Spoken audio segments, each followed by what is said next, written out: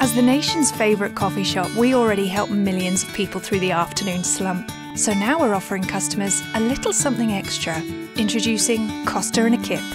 Well, our research revealed that customers rely on coffee to wake up, and with a spike in sales between 3 and 4 pm, it's when they need it most.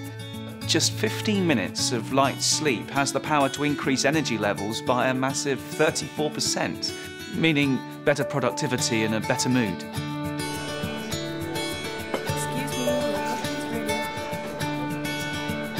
The ostrich pillow is super comfortable, just like our shops, which means people can just doze off at their table. Customers are always telling us how relaxed they feel in our stores.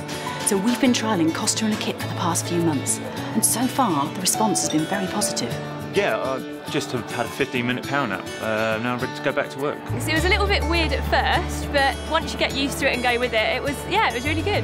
Definitely gives new meaning to the phrase wake up and smell the coffee.